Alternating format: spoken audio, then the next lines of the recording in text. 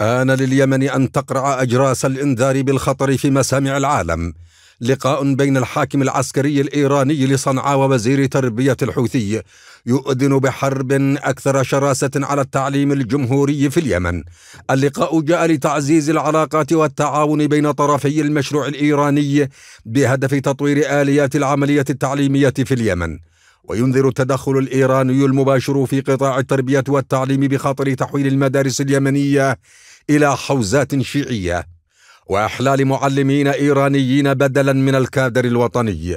وكانت ميليشيا إيران الحوثية صدرت منذ العام 2016 رواتب المعلمين اليمنيين ونهبت أكثر من 60 مليار من رواتبهم المودوعة في البنك بالحديدة. وفصلت الميليشيا آلاف المعلمين والموظفين العاملين في القطاع التربوي والتعليمي واستبدلت بهم حوثيين عقائديين.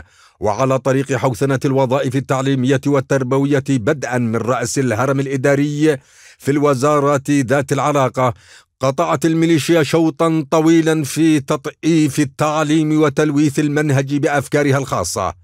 لكن عملية تطئيف التعليم اليمني قد تذهب إلى مدى أكثر خطورة بإدراج مدخلات اللغة الفارسية وثقافتها القومية المعادية في النصوص المدرسية اليمنية والمناهج الإلزامية. ولا يستبعد مراقبون أن تتعاقد ميليشيا إيران الحوثية مع معلمين إيرانيين بالعملة الصعبة تصرفها من رواتب المعلمين اليمنيين المنهوبة خاصة وأن الحوثيين يدينون لإيران بالولاء المطلق.